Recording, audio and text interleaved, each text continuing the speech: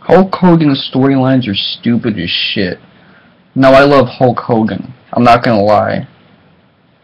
And I know that the guy was able to utilize what he had at a time where most of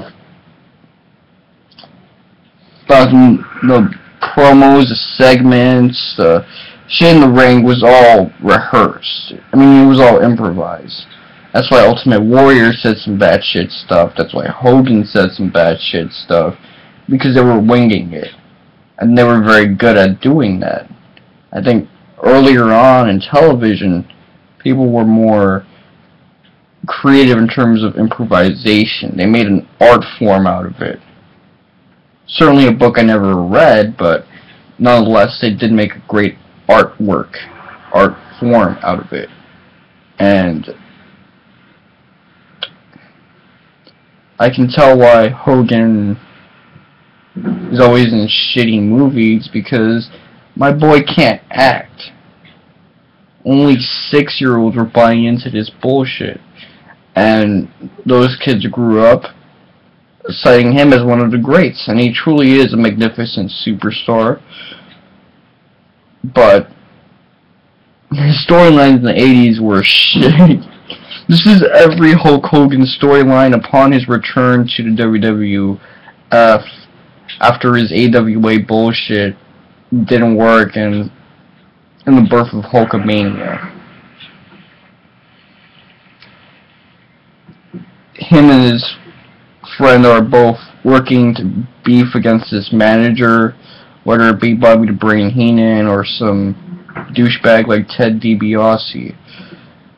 They're working to fight against this guy, but then his friend turns his back on him and Hulkamania. He says, then fuck both of you, I'm gonna destroy Hulkamania.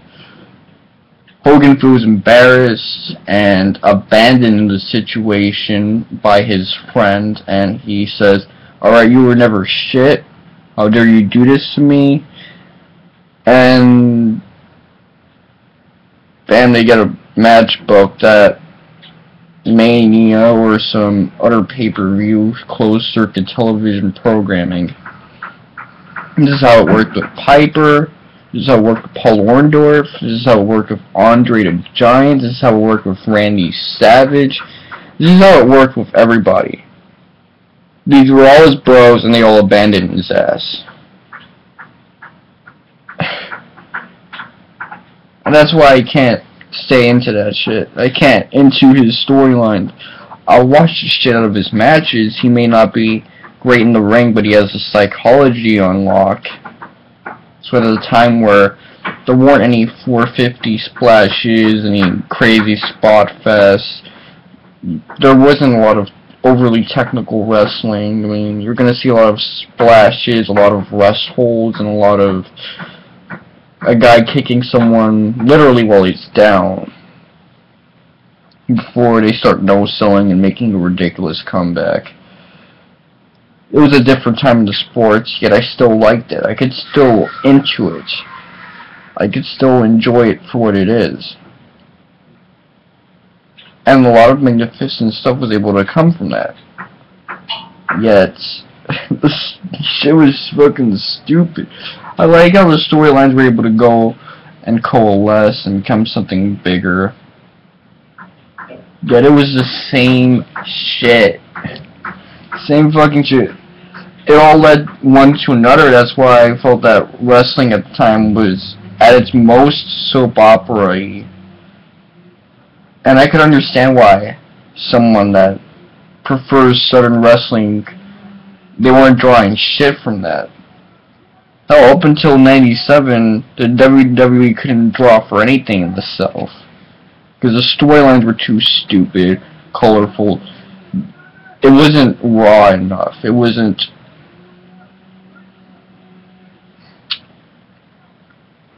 unfiltered enough.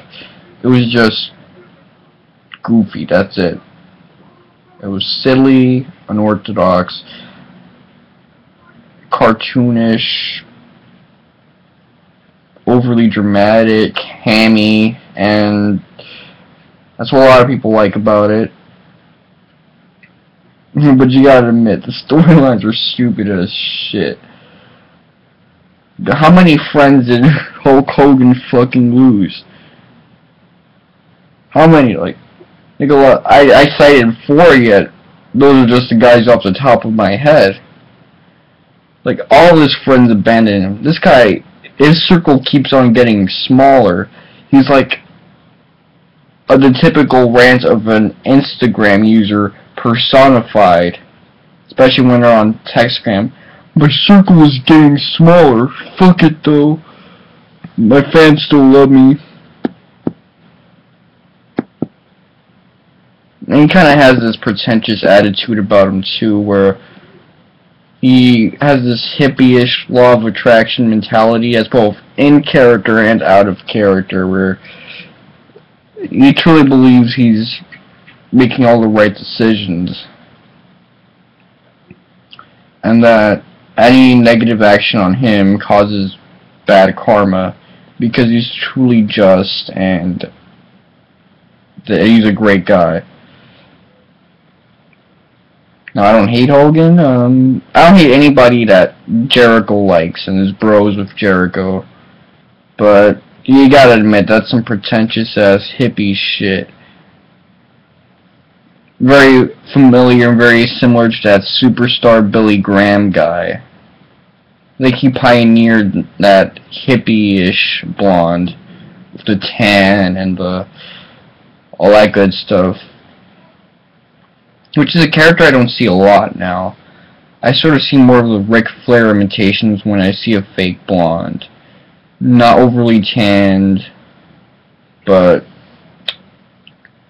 flamboyant as all shit, none of that hippie stuff. Anyways, Mr. Wonka 7, and Hogan to the dick. Hogan to the dick.